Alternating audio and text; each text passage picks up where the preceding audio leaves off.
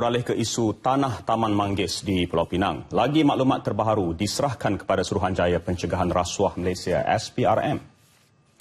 Maklumat berkaitan penambahan densiti pembinaan yang diluluskan oleh Kerajaan DAP Pulau Pinang kepada Kuala Lumpur International Dental Centre KLIDC diserahkan oleh Pemuda UMNO Negeri. Menurut penolong Setiausaha Pemuda Negeri Ifan Zaini Muhammad Taha, penambahan densiti itu dipercayai dari nisbah 1 kepada 2.5 ekar kepada nisbah 1 kepada 7 ekar yang didakwa memberikan lebihan untung komersial hampir 100 juta ringgit kepada pemaju. Katanya alasan Exco Kerajaan Tempatan Negeri Chow Kon Yao bahawa kelulusan itu merupakan prosedur biasa tidak boleh diterima. Ini kerana ia membabitkan tanah kerajaan negeri yang diperuntukkan bagi perumahan awam.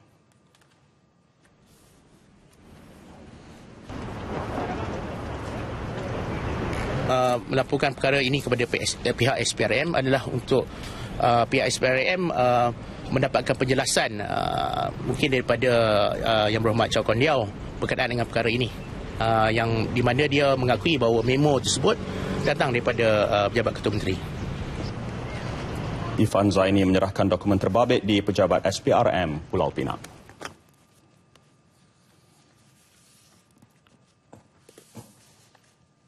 SPRM dalam pada itu dijangka akan mengeluarkan kenyataan berhubung isu pembelian banglo berkenaan dalam tempoh terdekat. Timbalan Ketua Pesuruhjaya Pencegahan SPRM Datuk Seri Mustafa Ali berkata, siasatan mengenai kes itu masih berjalan dan dijangka bahagian operasi SPRM akan mengeluarkan kenyataan lanjut berhubung perkara itu. Semalam SPRM mendakwa pihaknya sudah mempunyai tindakan serta perancangan untuk memanggil Guan Eng dalam melengkapkan siasatan berhubung kes berkenaan.